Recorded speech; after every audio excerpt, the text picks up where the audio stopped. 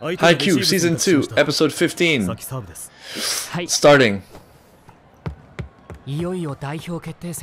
Yeah, yeah, finally, it's a long time coming. Can't blame them. Can't blame them. I'm nervous for them too. I was wondering why they were talking about his glasses. 最近毎日行ってるな日向基準がかっこいいは不安になるからやめてほしい so cutthroat, but I kind of love it. 見た目もかっこいいの探したんだからな Man, give his brother some credit. He's really trying. He's just pouring his heart out in his way. 1年の方が頼もしい顔してるってどういうことだよ Oh, getting shown up. 3年がビビってらんねえべ Yeah, I think one thing that's been clear is that the first years were really a big part of what breathed energy into this team. Simplicity and fortitude. Interesting. Yeah, simplicity and only lasting one episode, and fortitude and facing a ass beating. You can simply get owned. Episode 15, Place to Play. We still gotta work on our cheer squad. Hope that happens one day. Yeah, I better do that jump serve. But they're gaining fans, even if it's from the other teams. Is that Ida? Here we go. seem a little, like, wild. Is it out? Was it out or in? It was in. Interesting. Nothing simple about that. The foot save. Again. There's like a wildness to them. They, they tricked me with the banner. They're unorthodox. 確かに型にはまってなくて何してくるかわかんない感じがそうです Huh. I mean, looks like they're having a great time. Okay. Alright. Alright. The rough. すぐ調子に乗るんだから They got a lot of spirit character. Why am I why am I starting to like them? No. No. No. Hate everyone until they lose. Damn, what the heck? Why? Damn. Someone. There you go. Tanaka. Again. Always Tanaka. Hey, we can play wild too. Not the only athletes on the court. Off the wall! the legend of Hinata grows. There you go. There you go. Yeah, we're athletes too. 確かに今のもびっくりだけどでも they have to find their feet. They gotta find their feet and control the rhythm. I think that'll do it.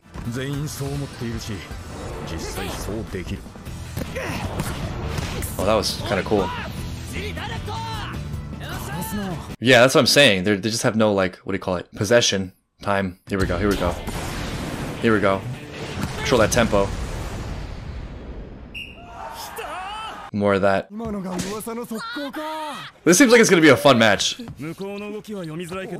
Like, it feels like they're playing, both of them. Yeah, yeah, but the more they can stay disciplined and stick to what they're good at, and not fall into the, the wildness of the other team's pattern, the better they'll probably do. You don't want to get dragged down into their, their swamp.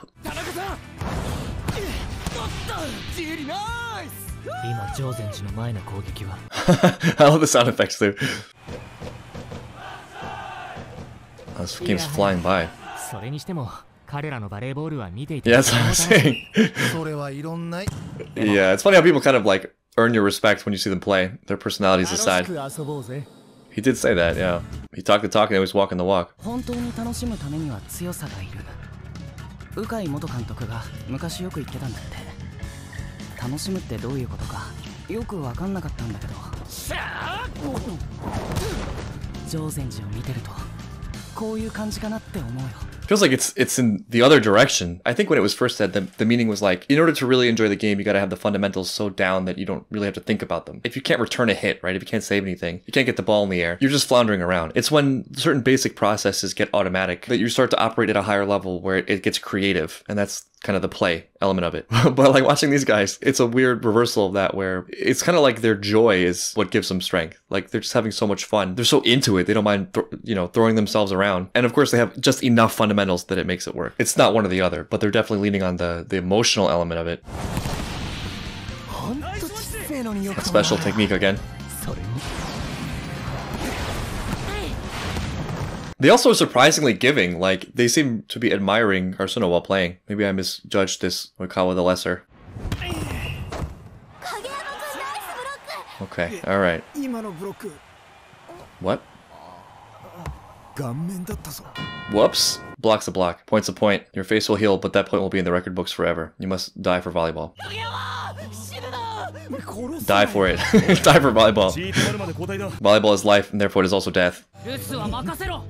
そうそう先輩に任せなさい Does that mean Sugawara's in? Oh, shit. Uh, okay. Alright. Huh. Interesting. Yeah, why why take out Hinata? At this late stage in the game? Yeah, it turns out this guy's kind of a softy. Despite his very stern oh, oh, oh, Ivan Drago exterior. If Karasuno can get along and Date can get along, maybe we can all learn to get along. 成田は菅原セッターでのコンビを合わせてる時間が長いま外から先輩たちのプレー Fair を見 enough, て fair みろ enough. よ They make a good pair. You can just feel that Ukai has taken a very special interest in Hinata.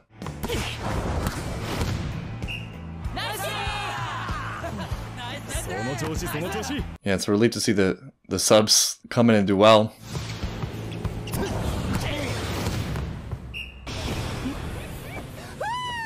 If I'm not mistaken, they reused the animation a lot for the, the jump serves for different characters, but I feel like that was a, a unique one. Could be wrong though. Nice. nice.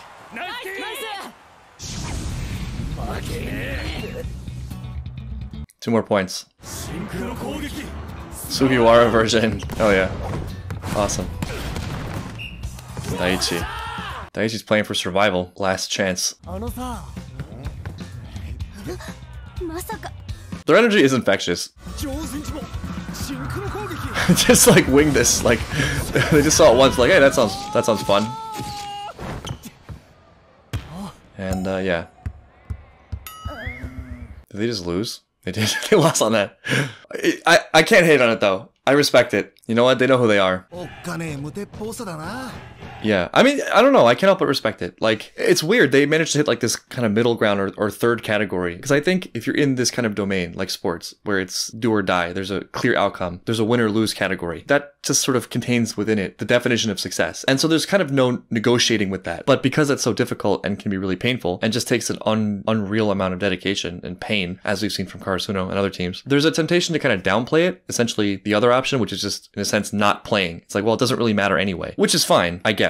It's fine not to play, but there's something kind of unsatisfying about playing volleyball in action but not really playing in spirit, pretending it doesn't matter, like losing and then saying who cares, it's just a dumb game anyway, or making excuses, etc. In a sense, it's like not engaging with it fully, not giving one's all in order to preserve one's one sense of pride or something like that. But interestingly, this team feels like they're doing something totally different. Like they're playing to win and they're giving it their all, but they're playing a different kind of game or it's a different set of values. Like I've said multiple times, although this show is very focused on volleyball, it's not really where the stakes are. The stakes are with the characters. Interestingly, I feel like this other team, they they still like, manage to hit on that in a way. It's just like in a very different way. It's not so much about pushing oneself to the limits and overcoming one's obstacles and facing pain and fear head on. It's like maximizing something about their spirit and being joyful in the moment they're in, if that makes sense. So it doesn't feel bad. It doesn't feel wrong. I think crucially because it's not avoidant. It's embracing whatever it is they're going for. They are striving for something. It's not delusion. It's not weakness. There's something kind of pure and honest about it. 気になっていたんですが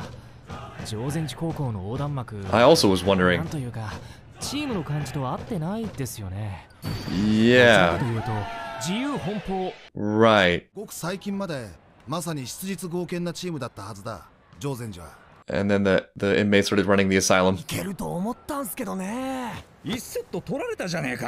this poor coach. Oh man, this coach must be so at the end of his rope. This coach just wants to play volleyball. You need a better manager, better assistant. It's funny that I was so fixated on the banner and that's becoming a central point of the, the thing. Wild and free, that's a good one. Manager?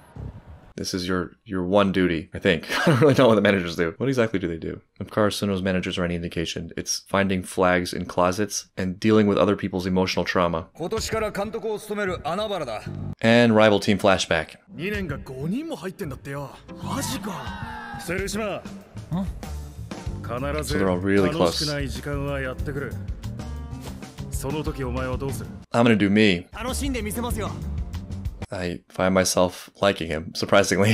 Who would have thought? He didn't make the best first impression. やっぱお前の攻撃がないと地味だからな地味オタクのキャプテンとかさうまくてもなんか地味 Okay, now you crossed the line. I take back everything I said about you. How dare you insult Daichi? まだ刈り上げさんに勝てないけどおい変なあだ名つけんなよこのメンバーだったら負けないです I appreciated Hinata. Now I can just call him cropped. I already forgot it. cropped hair. Cropped haircut.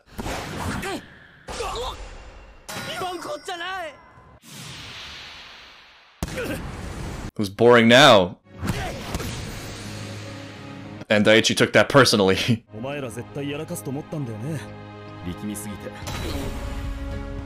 this is job.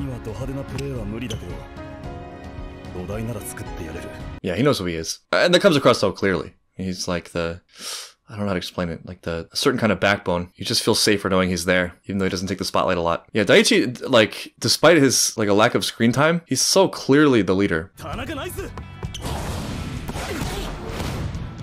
And then they opened a clinic. Are you still having fun? it's going well. Everything's going well. We need to have more fun. Have more fun now! You're not having enough fun! So much focus on the manager. What is... Oh, and manager flashback. Rival team manager flashback. This might be a first.